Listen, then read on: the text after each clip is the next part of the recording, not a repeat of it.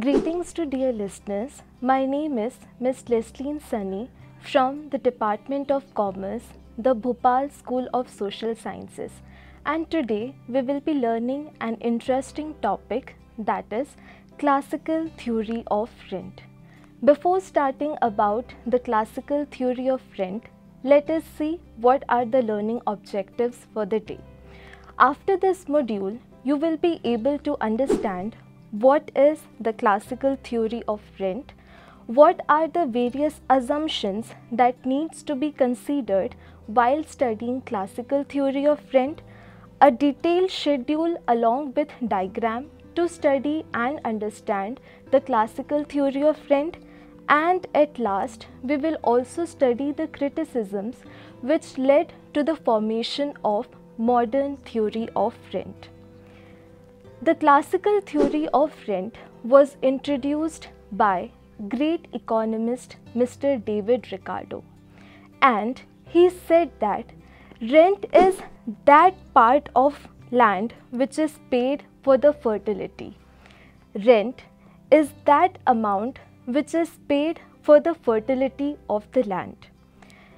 According to Mr. David Ricardo, rent is that portion of the earth's produce which is given to the landlord for the original and indestructible power of soil.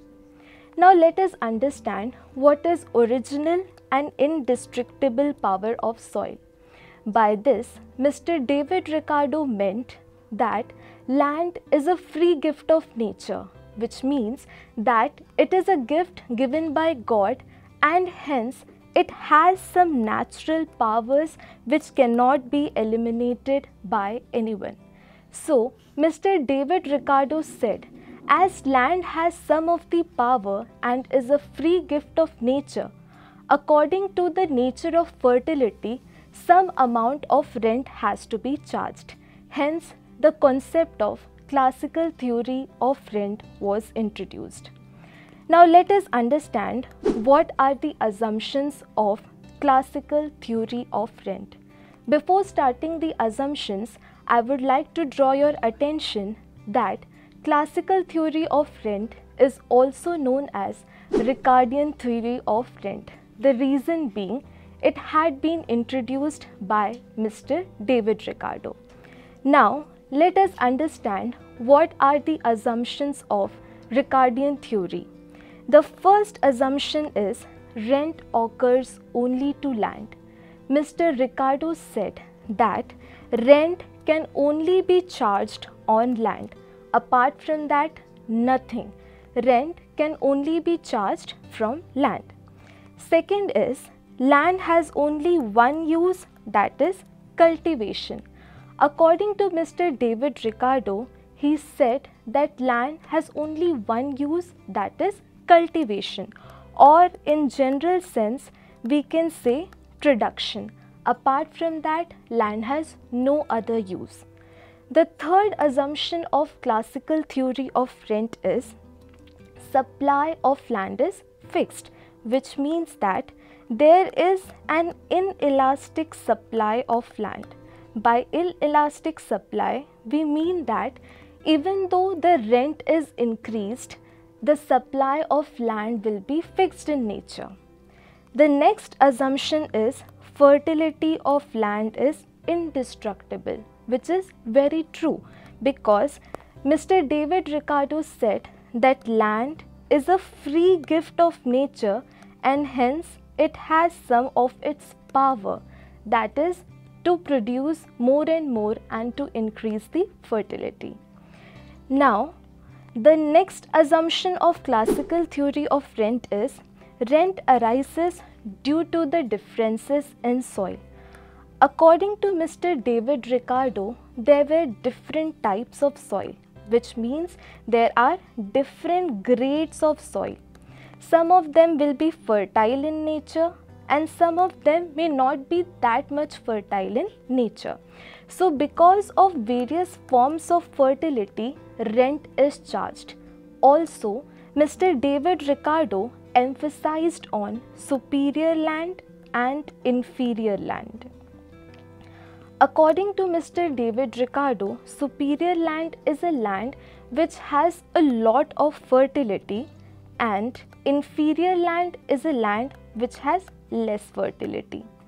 Therefore, he categorized the bases of land into different kinds that is superior land and inferior land.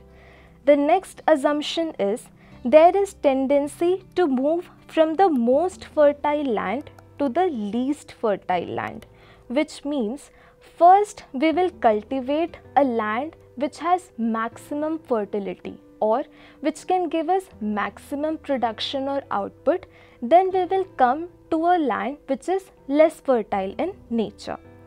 The next assumption is total cost spent on each land is same which means that even though there are different grades of land even though there are different grades of land the cost or the total amount which will be spent on each grade of land will always be same like there are different grades of land say A, B, C, D and for each grade of land 1000 rupees is spent. So the same amount of money will be spent on different grades of land irrespective of their fertility.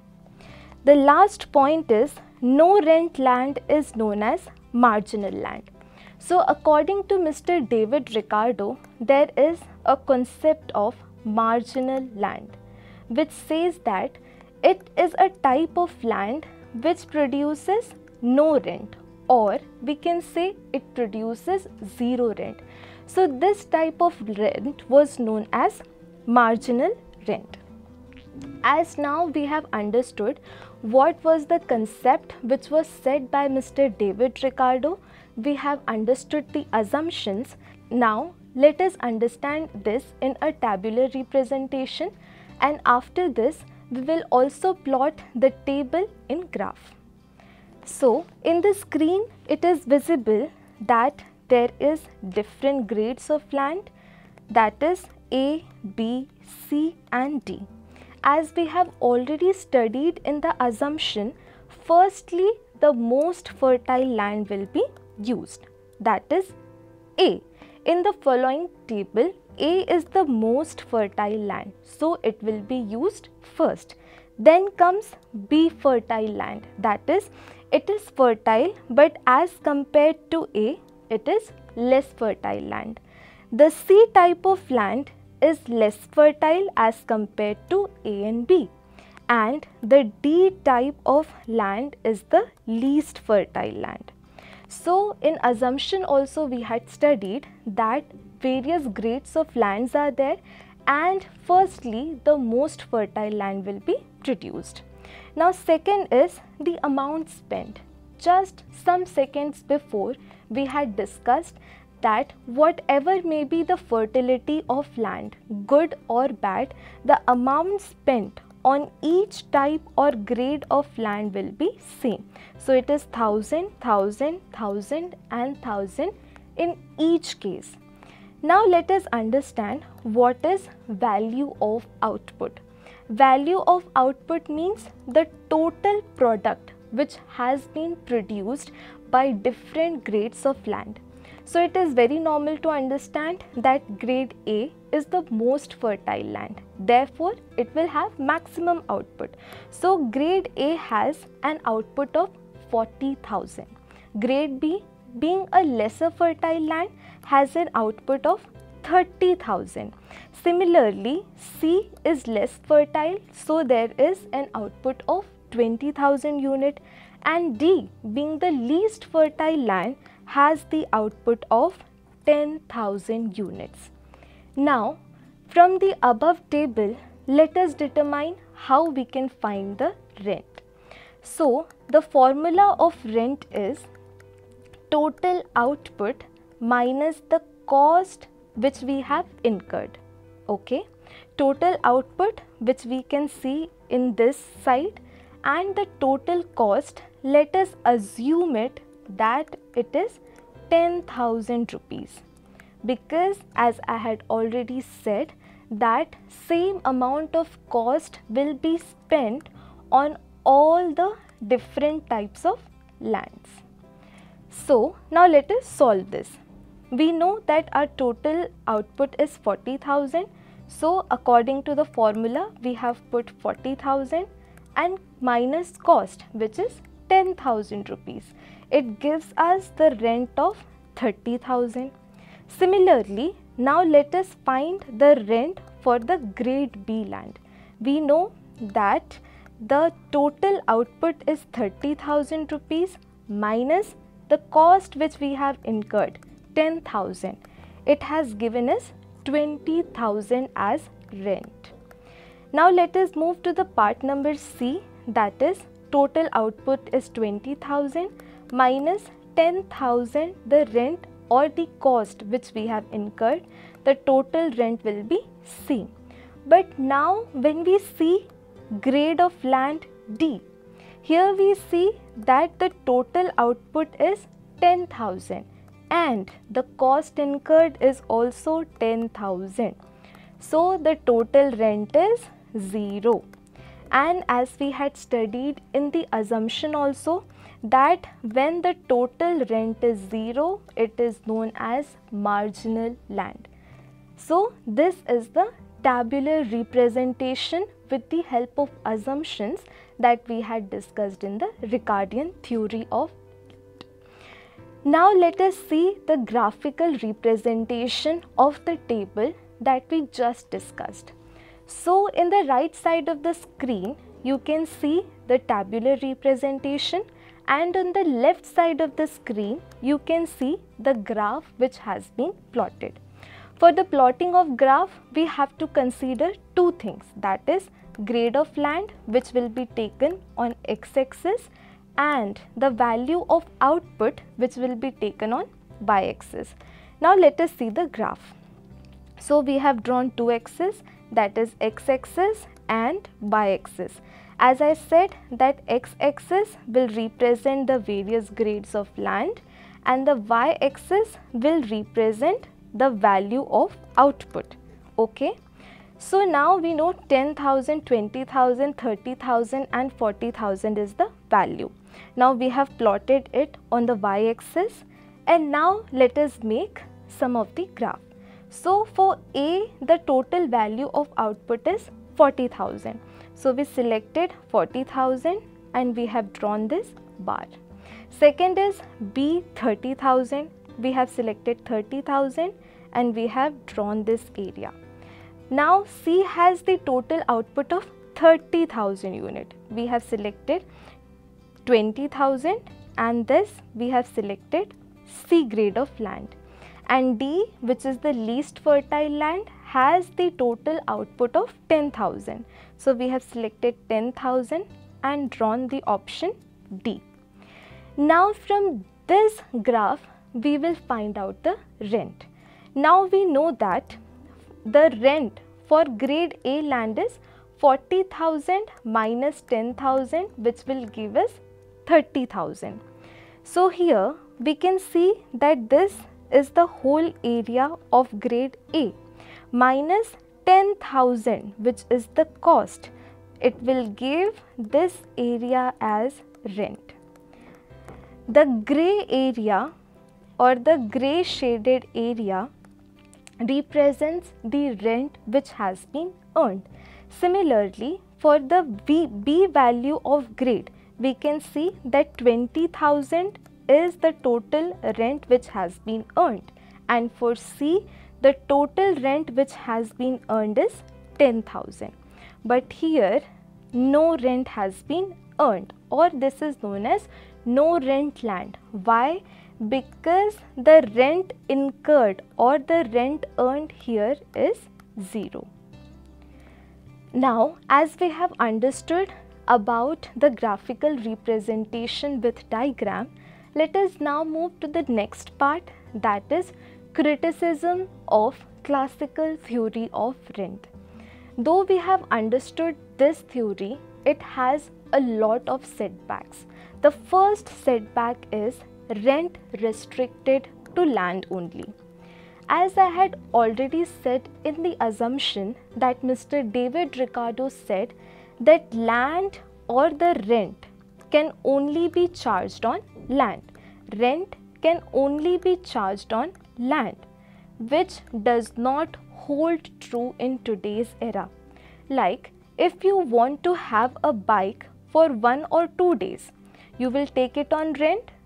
Or if you do not have your own home, you are staying in others' home, you will pay some amount of rent. So, this was the criticism which other economists gave that as Ricardo said that rent can be charged only on land is not true. The second criticism of classical theory of rent is land has alternative uses. Or in the assumption we had said that land can only be used for cultivation. And the other economists said that this is wrong in today's world also, we know that land has various other uses other than cultivation. We live on land and other work are also done on land only. We set our machines on land also. So this was other criticism which was given by other economists.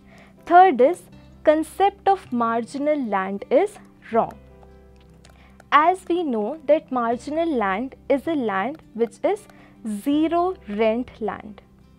It was said that it does not exist in real world. Even if a land is there, it is able to produce some amount of output. Hence, saying that marginal land is a zero rent land is completely wrong. The fourth criticism is rent is not limited to original and indestructible power of soil. Though land is a free gift of nature and yes, it has some of its power, but it is wrong to say that it has original and indestructible power. Why?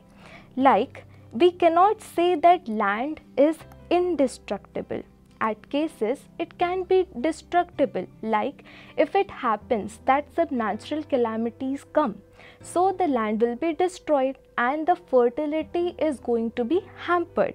So it was also one of the criticism and as mr david ricardo said that land has some original power which was not true to the own sense for sure, land has some of its power, but for the least fertile land also, we can use some fertilizers or scientific methods and increase its fertility. So, this was also a drawback. Next is wrong order of cultivation. Mr. David Ricardo said that there are different grades of land. A will be the most fertile land and then less fertile land will be there but it is very difficult to determine which type of land will be fertile in nature. That is a difficult phenomenon. It can occur that in a rural area, a land will be there which is very fertile, but it is difficult to find. So, to say that there is an order of cultivation and first the landlord will only cultivate the most fertile land is somewhere wrong. So these were the criticism of the classical theory of rent. With this we come to the end of our module. I hope you have understood. Thank you.